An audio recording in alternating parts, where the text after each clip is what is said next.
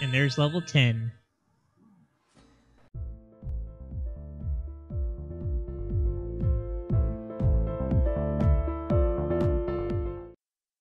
Hello everyone, Big Ton here again. Another episode of Let's Play on the Vox server. This is my Phrecromancer. There's Manello and Big Ton sitting there. Went ahead and loaded up on our mercenaries. I made it to level 9 thanks to a druid outside in Field of Bone that gave me some really nice buffs. So I got to level 9 and I moved inside Kurn's Tower here. Folks on P99 would probably recognize this. It's a very popular hunting spot on P99 as well as on P2002. So I kind of just wanted to show off a little bit of how to fight on this server, a live server using mercenaries. The kind of sort of almost doesn't matter what these guys con because the mercenaries are so powerful at this level that you can pretty much just fight to your heart's content.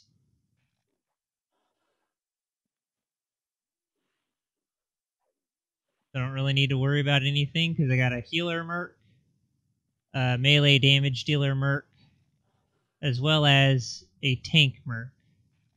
So I pretty much just sit here uh, for however long I want.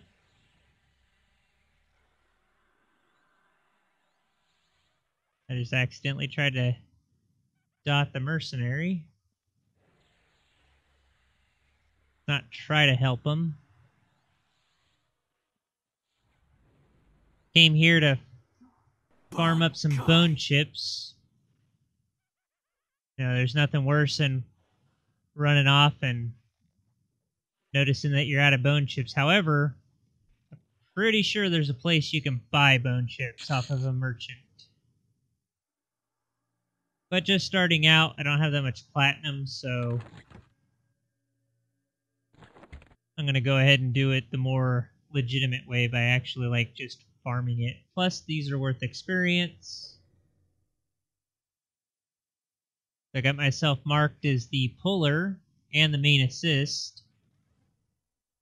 So the mercenaries will attempt to assist whatever I have targeted. As well as, because I'm the puller, the mercenaries won't actually engage until the enemy that I'm pulling is like around where they are. So like basically I have to be close to where the mercenaries are, as well as the enemy that I'm pulling has to be by the mercenaries as well. So like we all have to be together before anybody will engage.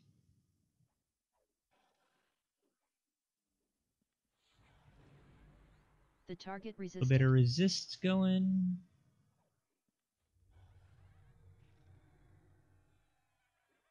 I don't want to do that. Big ton interrupted. Yeah, the mercenaries are so powerful at this level. As a matter of fact, a tank mercenary can carry you all the way to level 60.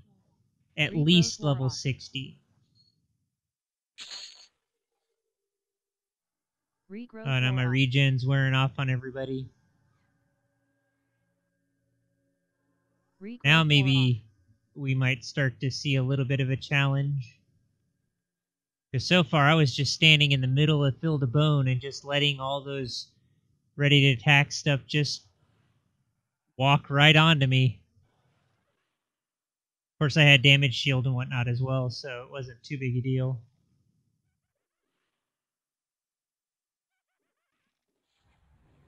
And send my pet in there.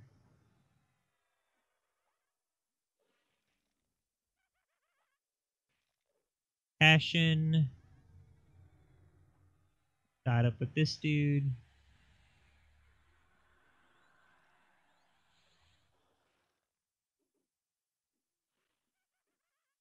Really need to slow, but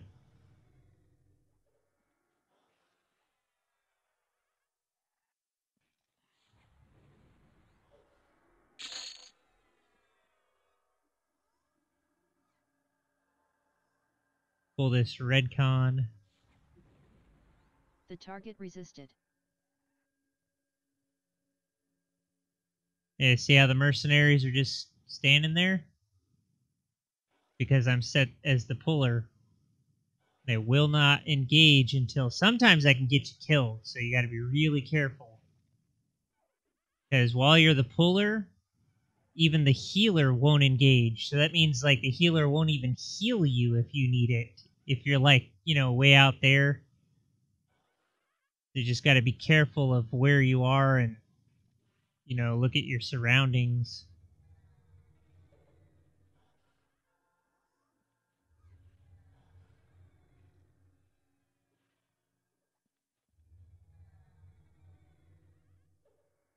The target resisted. This did slow.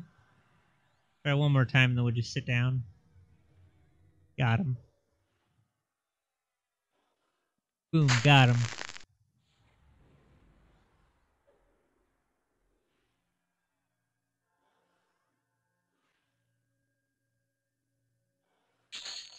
Yeah, the mercenaries have so much mana regen that you almost don't even have to worry about it. So if you like this solo and you like EverQuest as much as I do, then you can't really go wrong on the live server. Set my pet to guard. Gonna go over here. Nab this dude.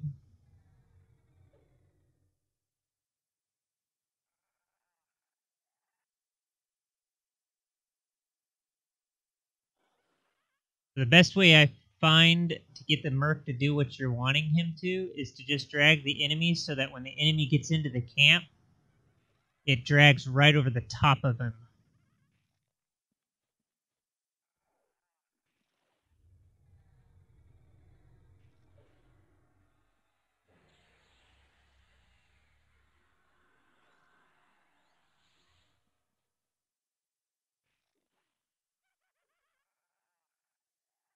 Yeah, it's pretty easy.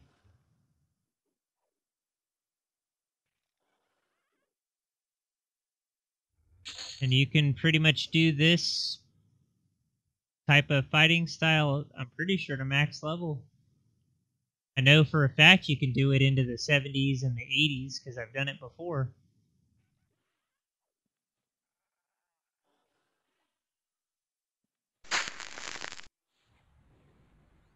I used to have I'd have a full five man group between me and my girlfriend.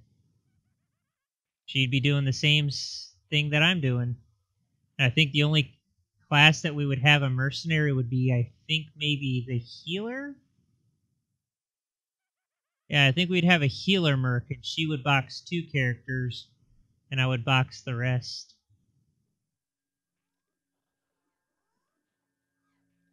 Manello interrupted. Yep, that mercenary is full mana.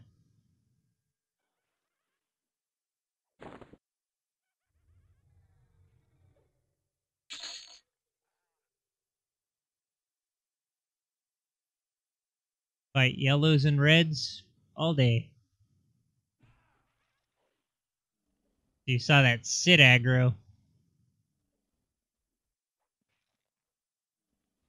Especially undead, because undead are very prone to attacking whoever's physically closest. And obviously, if you're sitting, they're gonna, you know, get a resisted. free punch right to your face. And because you're sitting, it'll be max. It'll be whatever their max melee damage is, resisted. which you can use to figure out what level they are.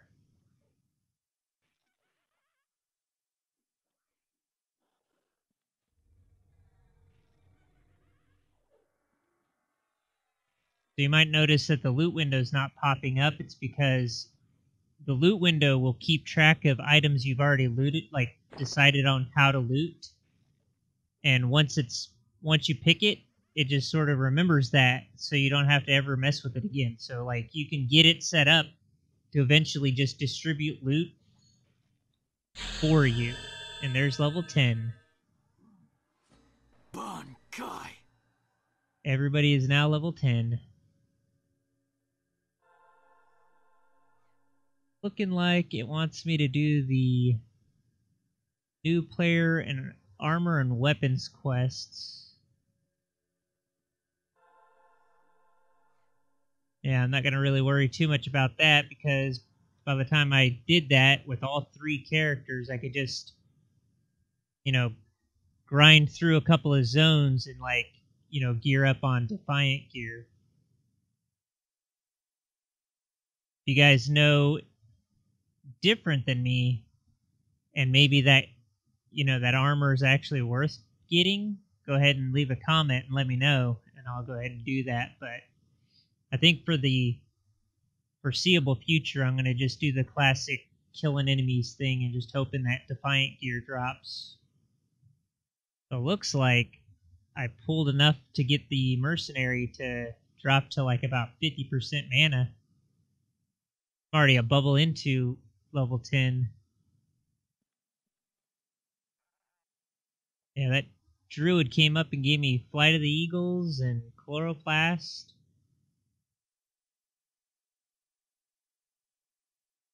That Flight of the Eagles lasts lasts like an hour and a half or two hours or something like that.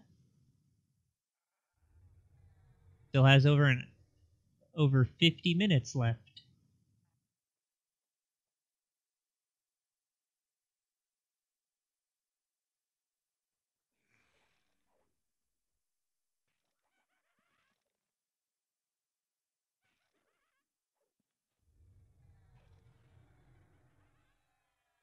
I don't have to worry about slowing this one, it's a blue.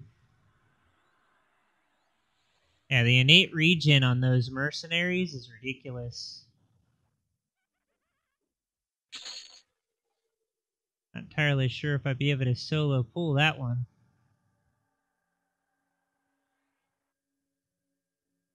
Nab up this guy here. Bankai.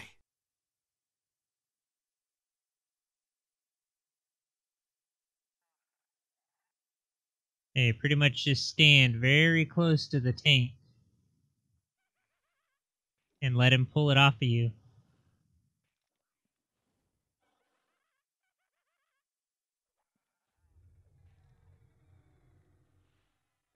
Try to slow this one.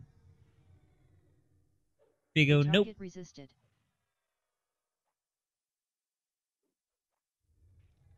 Got him that time.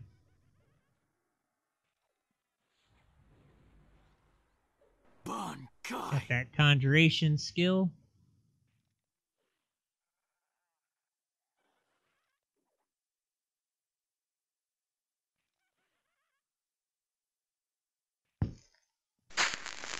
Go ahead and fizzle.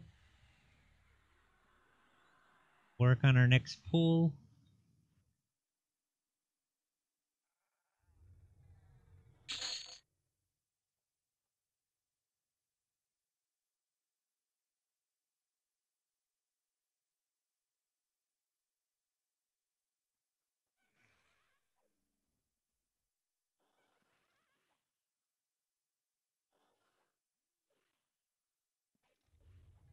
Bankai.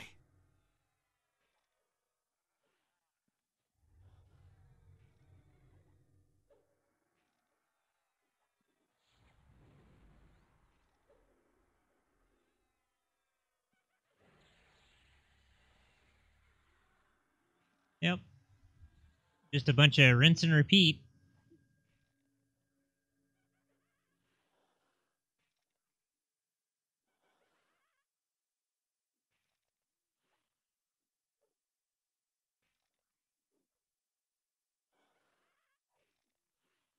This this is pretty much how I play EverQuest.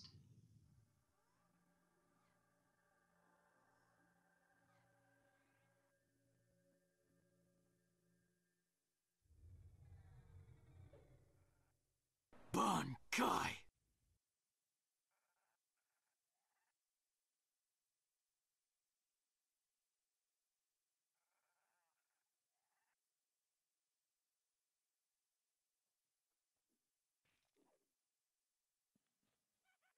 Yeah. Gonna try to show off like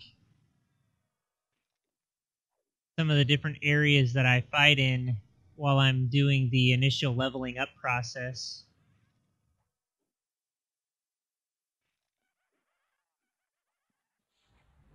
Not not going to be too worried about like hot zones or anything like that unless it's a zone that I've either, that fits in with the zones that I typically go to. But I'm not going out of my way to like try and fight in a hot zone unless, you know, it's a place I've never been or a new place or something like that. Then I might consider it. But I'm kind of trying to show off like the way I used to play a long time ago when I could have and should have been recording it back then, but I just I didn't really know too much about making videos and all that at the time, so I could have had years worth of videos made on the characters that I've had. Like I said, I didn't have any more character slots on the other server that I play on.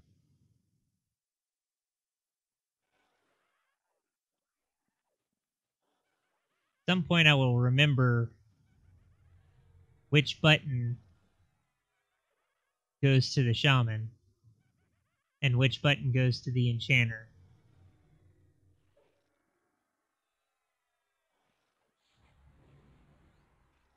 Bankai. Alt 3 to go to the enchanter. Bankai. So I can get that Tashan to make that slow stick. There's another mob. Go ahead and grab him.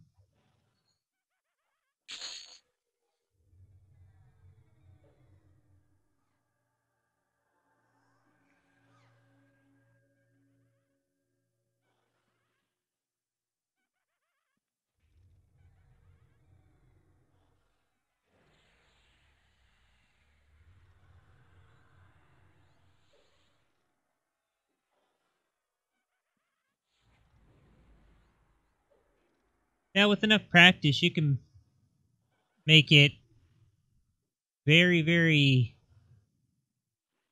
close to being in a group with different players. I mean, back when EverQuest was actually really popular and it was kind of one of the only MMOs to play, there's been a couple of times where the people that were in the group didn't actually know that I was boxing because I was kind of role playing. So I used to like use my other characters to answer the other characters so that the people in the group would think that they were separate players. But, you know, I had gotten so good at alt tabbing between the windows that, you know, and and I was talking with the each of the individual characters, so there was no way to really tell. And boxing was relatively new back then too, so what's that, a monk beast lord item? Go ahead and set that to always greed.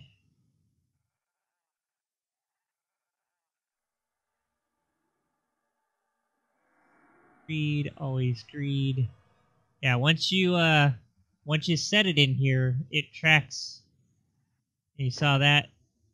It just because I have the necromancer set for need.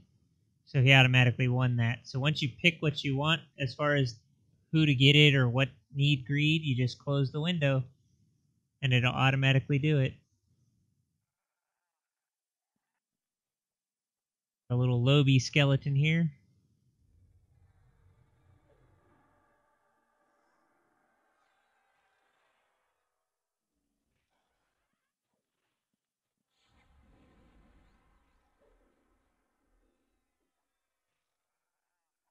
I didn't want to slow him.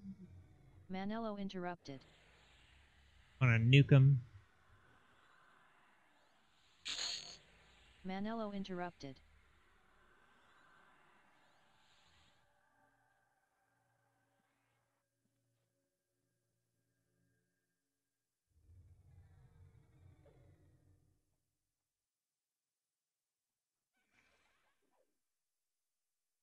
If you're liking these videos, go ahead and subscribe and click the like button and stuff and let me know that you like it. gonna keep making them, but it'd be nice to know if uh, people are actually enjoying these videos.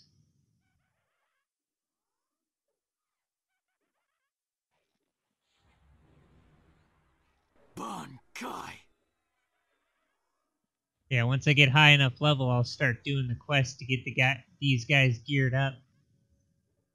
There's a couple of annoying aspects because there's a few of the quests that are based on faction and like you can't actually complete the achievement until you get to the necessary uh, faction level. Like the quest giver won't talk to you because they start out at dubious.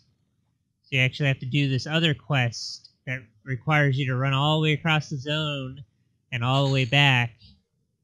Like dozens of times before your faction's high enough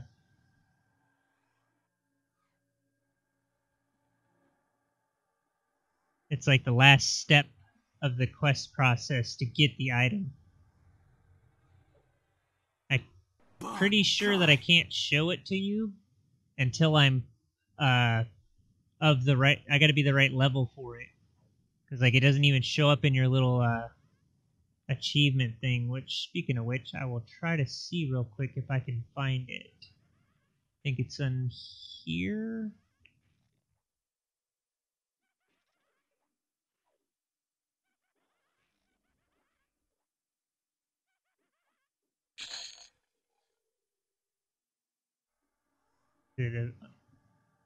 Quest?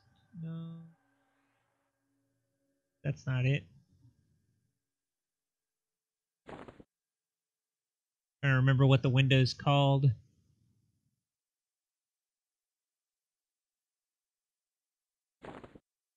Pretty sure it's achievements. Yeah, here we go. So this hero's journey tab.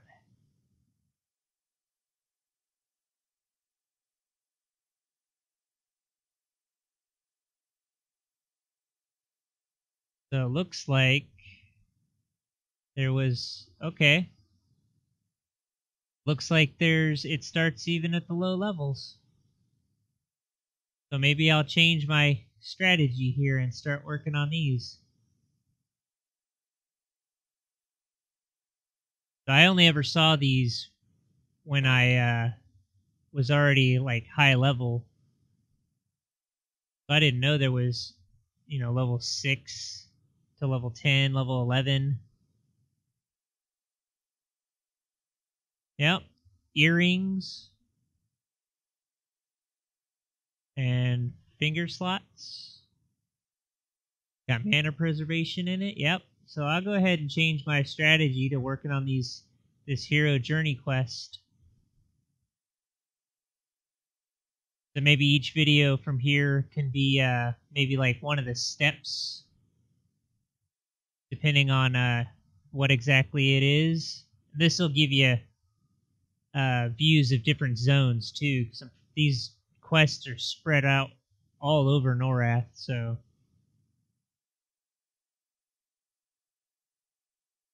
Alright, well, with this new information here, I'm going to change my plan. So I'll go ahead and close this video out. And uh, I'll get set up to start working on these. So if you like this video, go ahead and click the like button. Subscribe if you're new. Put your comments down below. Check the description for information. You can follow me on social medias. Also, there's a link to Patreon if you want to help support, because I got quite a bit of stuff I need to get, like a microphone, webcam, such things like that. And I'll talk to you guys in the next video.